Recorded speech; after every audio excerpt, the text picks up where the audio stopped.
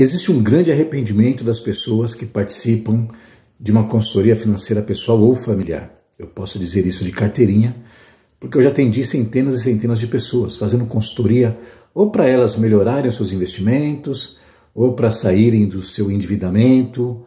Algumas nem estavam endividadas, mas também não tinham investimento, então elas queriam se organizar financeiramente para começar a sobrar dinheiro. É, existem vários objetivos para uma consultoria financeira pessoal ou familiar. Mas depois de centenas e centenas, né, mais de 15 anos atendendo pessoas, é, a grande maioria dessas pessoas elas revelam um grande arrependimento. Assim que inicia, após uma, uma primeira conversa, uma segunda conversa, assim que a gente dá algumas orientações, elas demonstram um grande arrependimento. E esse arrependimento é este. Júlio, eu me arrependo de não ter começado antes, de não ter buscado conhecimento de educação financeira antes. Né?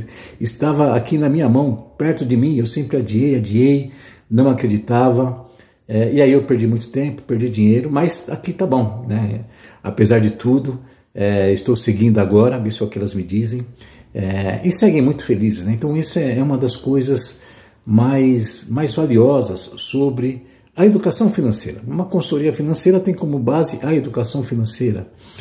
E a educação financeira é o conhecimento. Por que, que as pessoas demonstram esse arrependimento? Porque o conhecimento liberta. Então, quando elas veem o conhecimento estava próximo delas ali, bem ali, a, a, dois palmos do seu nariz, né? Como se diz por aí, elas falam: puxa vida, eu poderia ter feito isso antes, né? Mas nunca é tarde para começar. Então, eu quero compartilhar com você essa experiência, né? Esse essa vivência que eu tenho com educação financeira, porque a gente vê tantas e tantas pessoas. Né? Eu recebo diariamente mensagens no WhatsApp, pessoas dizendo que querem se organizar financeiramente, que vivem correndo atrás do dinheiro, né? tudo que, aquilo que você já sabe.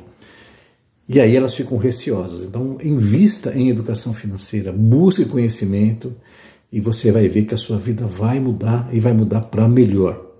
Isso seja um um estímulo para você. Um grande abraço.